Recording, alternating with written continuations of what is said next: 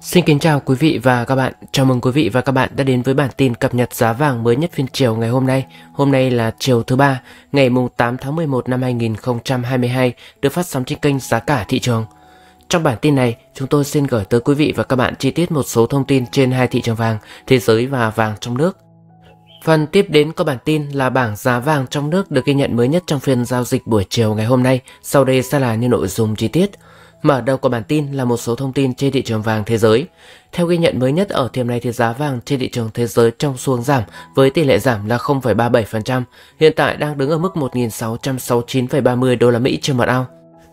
Với phạm vi giao dịch trong ngày hôm nay tính từ thời điểm mở cửa phiên này cho đến thời điểm hiện tại, mức thấp nhất là 1.668,11 đô la Mỹ và mức cao nhất là 1.676,63 đô la Mỹ trên một ao.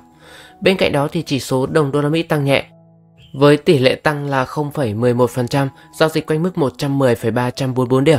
Còn đối với thị trường tiền điện tử, giá trị đồng tiền điện tử Bitcoin tiếp tục trong xu giảm với tỷ lệ giảm là 4,26%, giao dịch ở mức 19.700 đô la Mỹ trên một Bitcoin. Lợi suất trái phiếu chính phủ Mỹ kỳ hạn 10 năm trong xu hướng tăng với tỷ lệ tăng là 0,26%, giao dịch ở mức 4,227% trên một năm. Trên thị trường năng lượng, giá dầu thô trong xuồng giảm với tỷ lệ giảm là 0,56%, giao dịch ở mức 91,350 đô la Mỹ trên một thùng. Phần tiếp đến của bản tin sẽ là tổng hợp một số thông tin trên hai thị trường thế giới và trong nước.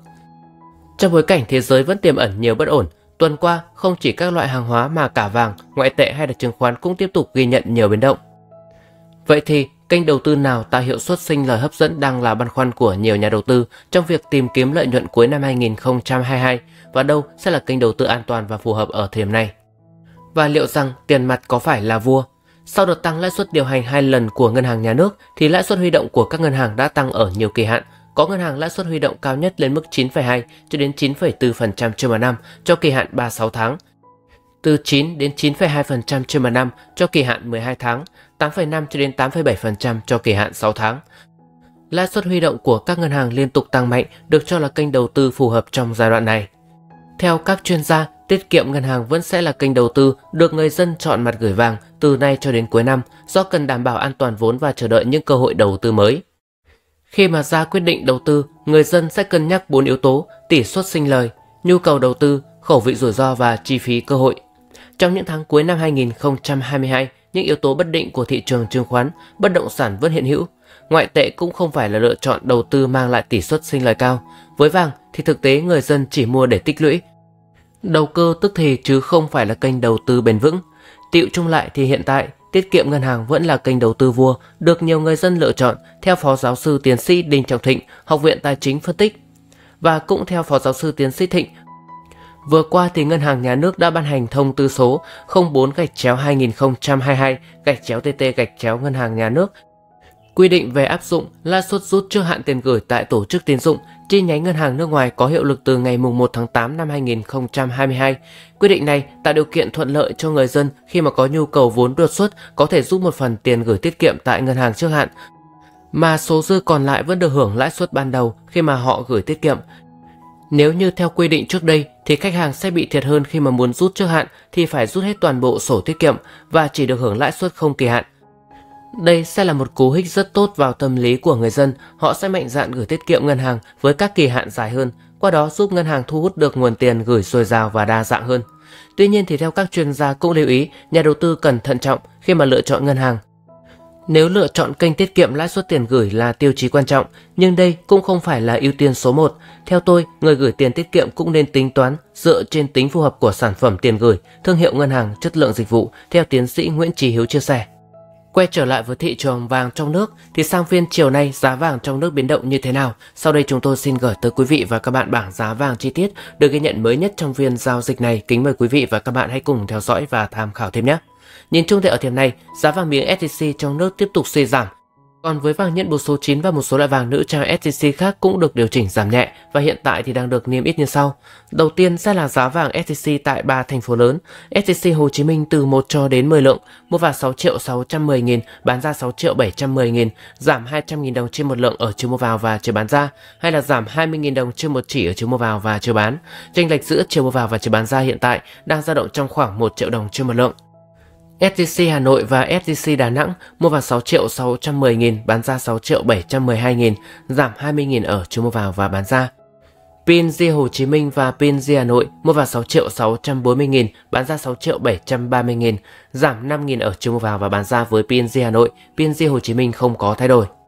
Doji Hồ Chí Minh mua vào 6 triệu 630 nghìn, bán ra 6 triệu 710 nghìn, tăng 20 nghìn ở chiều mua vào, chiều bán ra không có sự thay đổi nào. Doji Hà Nội mua vào 6 triệu 610 nghìn, bán ra 6 triệu 710 nghìn, giảm 30 nghìn ở chiều mua vào và chiều bán ra. Phú Quý SJC mua vào 6 triệu 620 nghìn, bán ra 6 triệu 710 nghìn, giảm 5 nghìn ở chiều mua, 10 nghìn ở chiều bán ra. Bảo Tín Minh Châu mua vào 6 triệu 621 nghìn, bán ra 6 triệu 709 nghìn, giảm 5 nghìn ở chiều mua vào, giảm 10 nghìn ở chiều bán ra. Mi Hồng SJC mua vào 6 triệu 620 nghìn, bán ra 6 triệu 720 nghìn, giảm 10 nghìn ở chiều mua vào và chiều bán. Tiếp theo sẽ là giá vàng SJC một số ngân hàng. Ngân hàng Eximbank mua vào 6 triệu 620 nghìn, bán ra 6 triệu 700 nghìn, giảm 10 nghìn ở chiều mua vào và chiều bán. Ngân hàng SCB mua vào 6 triệu 590 nghìn, bán ra 6 triệu 730 nghìn, tăng 10.000 ở chiều mua vào và tăng 20.000 ở chiều bán ra. Ngân hàng Tây Bank Gold mua vào 6 triệu 610 nghìn, bán ra 6 triệu 710 nghìn, giảm 30 nghìn ở chiều vào và chiều bán. Ngân hàng Vietinbank mua vào 6 triệu 620 nghìn, bán ra 6 triệu 722 nghìn, giảm 10 nghìn ở chiều mua vào và chiều bán ra. Tiếp đến là giá vàng SJC ở một số tỉnh thành phố khác, hiện tại cũng tiếp tục được điều chỉnh giảm thêm. Hiện tại giảm 200.000 đồng trên một lượng ở chiều mua vào và chiều bán ra hay là giảm 20.000 đồng trên một chỉ ở chiều mua vào và chiều bán. Chênh lệch giữa chiều mua vào và chiều bán ra hiện tại đang dao động trong khoảng 1 triệu cho đến 1 triệu 020.000 đồng trên một lượng và đang được niêm yết như sau. STC Nha Trang và STC Cà Mau mua vào 6 triệu 610 nghìn, bán ra 6 triệu 712 nghìn. STC Huế mua vào 6 triệu 607 nghìn, bán ra 6 triệu 713 nghìn. STC Bình Phước mua vào 6 triệu 608 nghìn, bán ra 6 triệu 712 nghìn. STC Biên Hòa, miền Tây và Quảng Ngãi mua vào 6 triệu 610 nghìn, bán ra 6 triệu 710 nghìn. STC Long Xuyên mua vào 6 triệu 612 nghìn, bán ra 6 triệu 715 nghìn.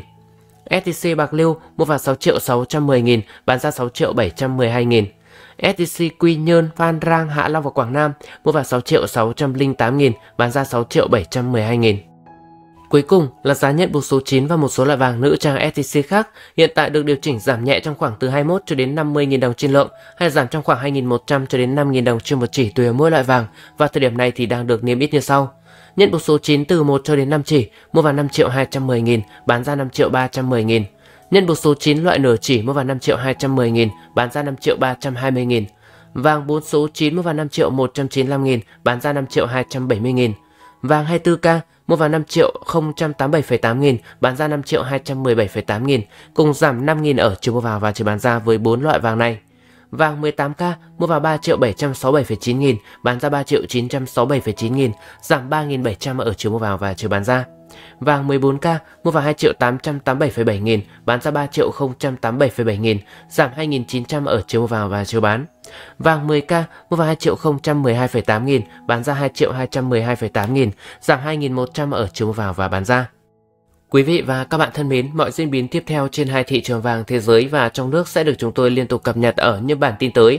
Quý vị và các bạn cũng đừng quên bấm nút đăng ký kênh màu đỏ phía dưới góc phải màn hình của video này, cũng như tích luôn là quả chuông ở bên cạnh để mỗi khi có thông tin mới, chúng tôi tiện thông báo tới quý vị và các bạn hơn. Còn bây giờ thì xin chào và hẹn gặp lại quý vị và các bạn ở những bản tin tiếp theo.